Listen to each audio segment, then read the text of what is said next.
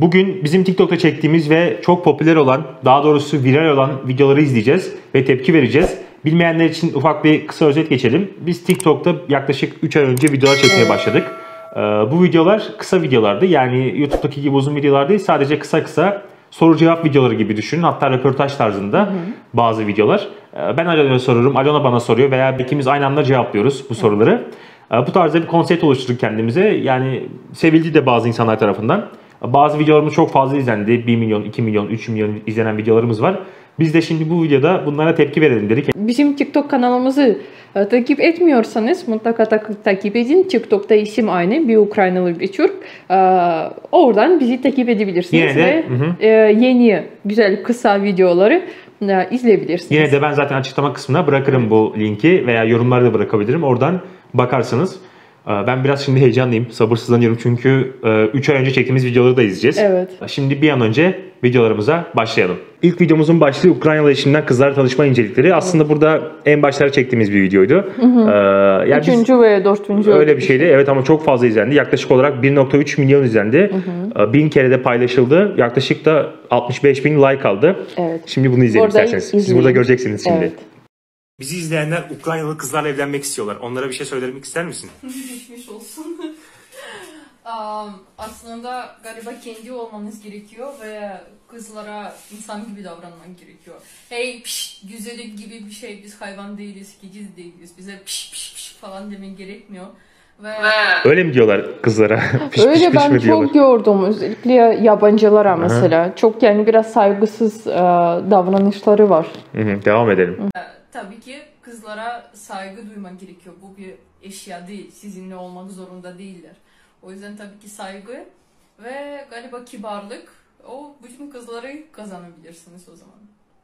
Değil mi? Kibar olunca bütün kızlar kazanılıyor mu? E, tabii ki çünkü sen insana insan gibi davranıyorsan tabii ki kız ne düşünüyor? Aa bu bu çocuk çok iyi çocuk. Bana değer verecek, beni sevecek falan. O yüzden kızların gözünde daha çekici oluyor değil mi? Yani Doğru. ama tabii ki şey diyorlar. Aa kızlar bad boy falan seviyorlar. Tabii o da var aslında. O da var ama şöyle bir şey. Bad boy bu genelde erginlikte böyle filmleri izleyince bad boy istiyorlar. Anladın mı yanda?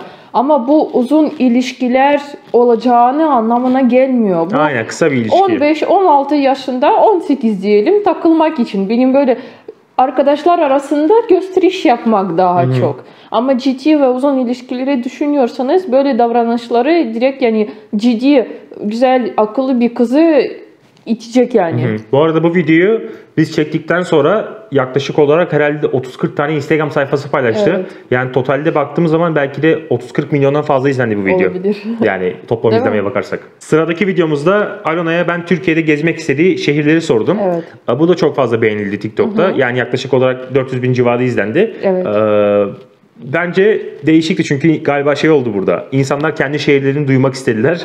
Doğru, Onu bekliyorlardı. Aynen. Bir izleyelim isterseniz. Alona, Türkiye'de en çok gezmek istediğin şehirler hangileri? Kısaca sayayım. Ee, İstanbul, Pamukkale, e, Kapadokya, Kayseri, Konya. e, Yalnız kısaca sayayım dedi 30 tane şehir saydı. o kısaltma benim için kısacası. Hatay, Urfa, e, bilmiyorum. Ah, ben bu Aa, orada şey yorumlarda çok aa Pamukkale şehir değil, aa bilmem ne şehir değil. Bizim için aa, köy değilse şehir. O yüzden ben bunu şehir olarak sayıyorum. Yani çünkü Rusça ve Ukraynaca çevirirsek. Yani benim için e, il ve bu şehir anlamına gelmiyor. Şehir bu Alanya gibi, ne bileyim Gemlik gibi, Mudanya gibi yani köyden daha büyük ilçe olan yerler. Evet, ilçe dahil yani Bursa, İstanbul, e, Mudanya, Alanya vesaire bu benim için aynı şehirler. Sadece bu büyük şehir, bu küçük şehir yani bu kadar yani. O yüzden yorumlarda Ukrayna'da öyle yani biraz aslında. Evet. Rusça'da, Rus dilinde. biraz yabancılar için galiba şey e, biraz daha sabırlı olması gerekiyor çünkü sonuçta farklı mantalite ve yani Türkçe e, konuşanlar yani yabancılar özellikle tabii ki başka biraz farklı algılayabiliyorlar bazı şeyleri. Ee, sıradaki videomuzda Alona ile ben Alanya tatiline gitmiştik Evet. bu yaz başında. Orada kaç para harcadık? Bununla ilgili bir video çekmiştik. Şimdi isterseniz bu tatilin videosunu, kaç para harcadığımız videosunu izleyelim. Aynen. Alona, bizi izleyenler merak etmişler. 2 haftalık tatilimizin masrafı ne kadar? Ev kiraladık 10 bin TL. Her gün yani yaklaşık 500-600 yemeği harcarsak 6 bin yapıyor. Yani 20 bin civarında falan harcadık. Ee, tabii ki değil. Bizim burada evimiz var. En fazla Orada zaten daha 20 bin civarında harcadık derken e, yorum yazmaya başlamış bazıları Evet. sonunu izlemeden sallamaya başlamışlar bize. Ulan bu kadar para harcanır mı o kadar aç var falan filan. İşte sallıyorlar bizi anladın mı? Doğru. Sen dedim keşke bir devamını izleseydin. öyle iki tane videomuz var. Çok komik yani aslında bizi çok güldürdüler. Ee, ikinci video bundan sonra izleyeceğiz. Devam edelim. Fazla her gün dışarıda yersek bile 2000-3000 falan civarında. Yani her gün dışarıda yersek bile 2000 Yani. civarıydı. Tabii 4000 ki. olsun diyelim. diyelim öyle. Zaten şey biliyorlar bir önceki videolarımızda bu bizim evimiz falan dedi, dedik e, yorumlarda. Ev için para harcamamıştık Evet yani. ev için para harcamadık. Yol parasına bakarsak o zaten arabayla 500 TL en fazla tutar değil mi? E, o yüzden yani ama ilginç olanı insan e, video sonuna kadar izlemeden açıklamayı duymadan hemen kötü bir şey yazmaya çalışıyorlar. E, o yüzden hay- bence hayata da aynı. İnsan mesela diğer insanı selam dedikten sonra artık insanın ön yargı oluşturdu ve mesela iyi ve kötü hemen davranabilir. Hiç sebebi bilmeden, öğrenmeden, insanın hayatını bilmeden direkt bir etiketi koyduğu insana ve bu etikete göre davranmaya başlıyor. Mesela kız çok güzel ise diyelim, e, kız çok güzel yani evet e, herkesle belki konuşmuyor. Ona şey diyorlar. Aa sen egolusun. Sen çok güzel olduğun için falan bir şey e, kimse konuşmuyorsun. Birinci kız böyle doğdu. Bir şey yapmadı. İkinci belki o kadar kötü bir tecrübe vardı ki belki kız şiddet gördü ki insanlara yaklaşmak istemiyor. Yani siz onun hayatını bilmiyorsunuz ve aynı şekilde erkek hakkında da söylenebilir. Ve direkt etiketi koyup e, ona yüzüne ve arkasında kötü şeyler söylenebilir. Sırada Alona'nın bana sorduğu bir soru var. Ee, Ukraynalı kızla evlendikten sonra evimde neler değişti diye Alona bana sordu. Evet. Bu video bilmiyorum neden çok sevildi ama TikTok'ta 1.2 milyon izlendi. Ee, YouTube Shorts kanalımız var. Orada da yaklaşık olarak 2.5 milyon izlendi. Oo, aynen. yani bayağı bir izlenme aldı. 4 4-5 milyon civarı bir izlenme aldı. Bir izleyelim isterseniz. Sana Ukraynalı kızla evlendikten sonra evde ne değişti? Birincisi eve kedi geldi. İkincisi evde her yer çiçeklerle doldu. Üçüncüsü de az mobilya var evde. Şimdi birincisi eve kedi geldi dedim. Tamam mı? Ee, belki anlamamış olanlar olabilir sadece.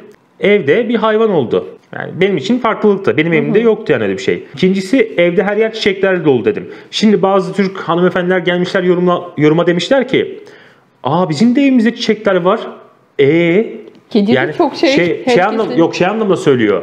Hani bu bir şey sayılmaz ki. Yo bu benim için sayılır. Benim evimde yoktu. Yani benim evimde çiçek olmadığı için benim için değişti. Ben bir Türk kadınıyla evlenip sonuçları görüp sonra bunu yorumlamadım ki.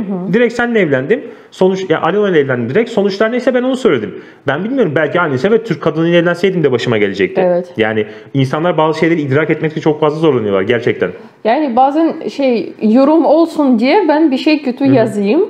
Ee, ve ikinci de tamam dediğin gibi e, senin senden bahsediyoruz zaten. Sen Ukraynalı biriyle evlenince senin evinde ne değişti? Senin ailende diyebiliriz. Yani ailene göre değil mi? Evet. Ne oldu? Evet sizde hayvan yoktu. Kedimiz oldu, bebeğimiz oldu diyelim değil mi? Artık o bebek onun için sayılır. Yani. Ee, İkinci de evet sizde çiçek yoktu.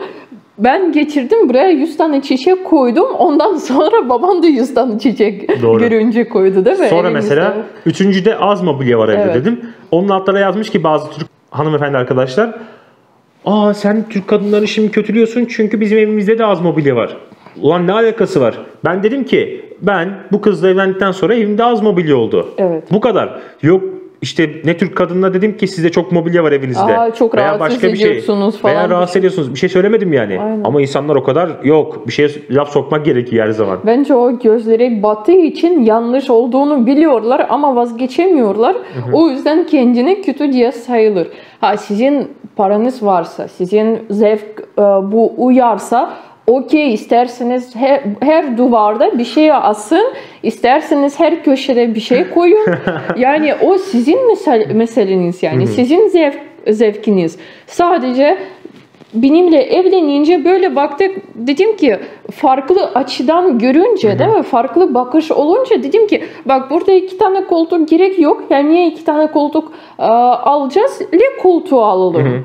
Yani belki o bam başka bakış açısından sadece olmuş o kadar yani. Sıradaki videomuza geçelim. Bu videoda Alona'ya etli ekmek nereye ait diye sordum. Biliyorsunuz etli ekmek ya benim bildiğim kadarıyla Konya'ya aitti. Resmi olarak diyelim değil mi? Resmi yani, bilinen daha çok. Bilinen. Ve böyle bir videomuz ayrı bir playlist gibi olmuş. O yüzden TikTok'ta e, TikTok'a girince mutlaka böyle bir sürü videomuz var. Bu nerede, bu nerede? Bu nereye ait, şu İzleyebilirsiniz. nereye ait falan. Evet. Ve yanlış biliyorsak yorumlarda mutlaka söyleyin. Aa bu böyle biliniyor diye. Hı, Devam edelim. Video izleyelim. Alona, sana Türkiye ile ilgili bir sorum var. Eğer soruya 5 saniye içinde cevap verebilirsen 100 dolar kazanacaksın.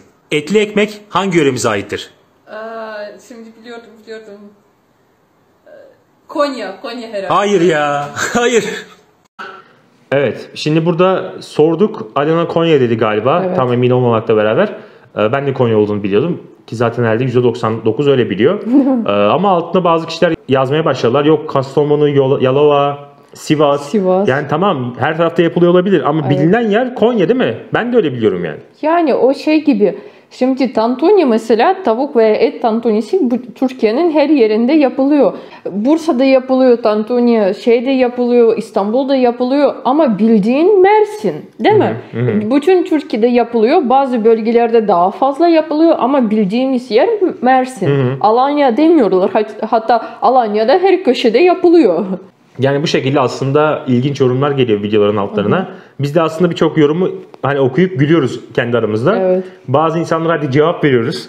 Ee, çok böyle küfür etmeyenlere diyelim veya normal bir şekilde Aha. eleştiri yazanlara. Ama bazı kişiler gerçekten çok fazla abartıyorlar. Sadece bunun internette oluşturulan bir video olduğunu unutuyorlar. Ciddiye Evet. alıyorlar çok fazla.